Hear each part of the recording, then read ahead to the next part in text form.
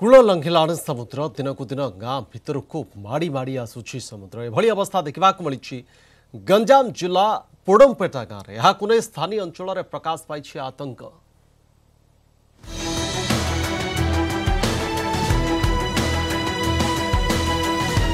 ଗଞ୍ଜାମ ଜିଲ୍ଲା ଗଞ୍ଜାମ ବ୍ଲକର ସମୁଦ୍ର କୂଳରେ ରହିଛି ପୋଡମ୍ପେଟା ଗାଁ ବାସ କରନ୍ତି ଶତାଧିକ ମତ୍ସ୍ୟଜୀବୀ ପରିବାର।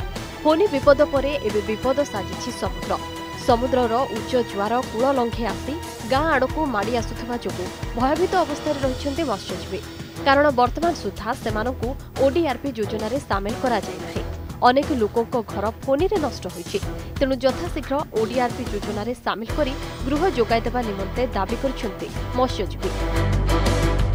ଆମର ଓଡ଼ିଆ ଘର ସମସ୍ତଙ୍କୁ ମିଳିଲା। ଆମକୁ ମିଳିଲାନ୍ତି ପଚାଶ ଜଣଙ୍କ। ଏବେ ସରକାରକୁ ରିକ୍ୱେଷ୍ଟ କରୁଛନ୍ତି। ଆହୁରି ସରକାର ଆମକୁ ଦେଇନାହାନ୍ତି। ଆପଣ ଇଏ ବନ୍ୟା ବାତ୍ୟା ହେଇଗଲେ ସମୁଦ୍ର ଏଇଠି ପାଖ ପାଖ ବାହାରିଛନ୍ତି। ଭୟ ଲାଗିଛନ୍ତି। ଏବେ ଏବେ ଆମକୁ ଫାଇଦା ନାହିଁ କୁଆଡ଼େ ଯାଇବାକୁ। ଘର ମିଳିନାହିଁ ବୋଲିକି ଆମେ ଅଳ୍ପ ନ କରୁଛୁ। ସମୁଦ୍ର ଭୟ ହେଉଛି। ପାକା ଆସିବ ବୋଲି ବନ୍ୟା ଓଇଲେ ମିଶେଇ ଆମକୁ ଭୟ ରହୁଛି। ଆମ ଘର ଦେଲେ ଲୋକମାନେ ଥିଲେ ମିଶିକିରି ଏ, ତାଙ୍କ ପାଇଁ ଶୋଳିକିରି ରହିବା କଥା।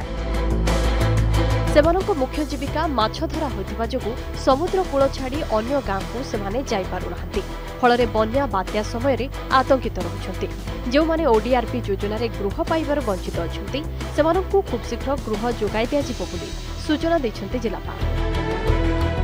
ବନ୍ୟା ବାତ୍ୟାରେ ବେଶୀ ଅସୁବିଧାରେ ରହୁଛନ୍ତି ପାଣି ପଳାଉଛନ୍ତି ଏମିତିକା ଏ ଗାଁ ଛାଡ଼ିକି ସେ ଗାଁରେ ରହୁଛି କମ୍ପ୍ଲେନ୍ କରିଥିଲି ଯେ ଏମିତିକା କମ୍ପ୍ଲେନ୍ ଦିଏ ମାସକେ ଦୁଇ ମାସ କମ୍ପ୍ଲେନ୍ କରିଛି ଆସିନି ଦେଖ କହୁଛି ଆସିବ ଆସିବ ବୋଲି କହିଦେଇଛି ଆସିନି ଏତେ ଓଡିଆର୍ପି ବିଲ୍ଡିଂ ସେ ବି ଏବେ ରିଭ୍ୟୁ ଚାଲିଛି ସେ ଅଛି ରାଙ୍ଗାଇଲୁଣ୍ଡା ବ୍ଲକରେ ଅଛି ତ ତାଙ୍କର ଯେଉଁ କଲୋନୀ ଅଛି ଓଡିଆର୍ପିର ସେ କଲୋନୀର ପ୍ରୋଗ୍ରେସ୍ ଦେଖିକି ତାଙ୍କୁ ଆମେ ଇଏ କରିବେ ଟ୍ରାନ୍ସ ଟ୍ରାନ୍ସଫର କରିବେ ବିପଜ୍ଜନକ ପରିବେଶରେ ରହୁଛନ୍ତି ମତ୍ସ୍ୟଜୀବୀ ପରିବାର ତୁରନ୍ତ ସେମାନଙ୍କ ଥଇଥାନ ହୋଇଛି ଅପରିହାର୍ଯ୍ୟ ଗଞ୍ଜାମ ଜିଲ୍ଲା ପୋଡମ୍ପେଟାରୁ କୈଳାସ ବେହେରା ନ୍ୟୁଜ୍ ଏଇଟିନ୍ ଓଡ଼ିଆ